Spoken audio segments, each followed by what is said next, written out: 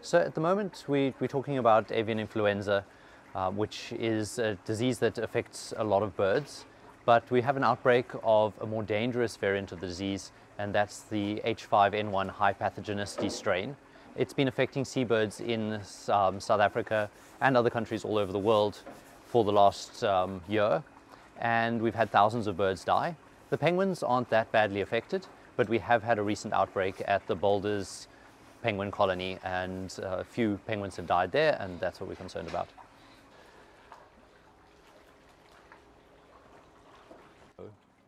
All these adults, usually they come in with problems, uh, wounds and injuries and things. Um, but now they're looking so healthy, I don't even recognize who's who. In seabirds in South Africa over the last year, we've lost um, over 20,000 birds. But uh, just recently at the Boulders um, National Park, we've only uh, lost 28 penguins. So it's a small outbreak in a um, community of about 3,000 penguins that's, that live at this colony. So it's not terrible there, but we are monitoring the situation in case it get worse, gets worse.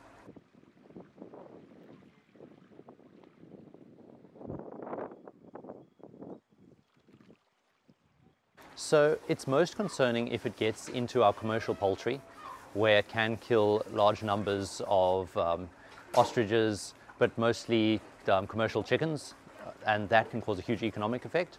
And from an ecological point of view, we're interested and concerned when it affects large numbers of, of wild birds. So seabirds have been really badly affected, endangered Cape cormorants were poorly badly affected last year, and in other countries, gannets and terns so we, we know that it affects large numbers of different species and it can kill large numbers of individuals as well.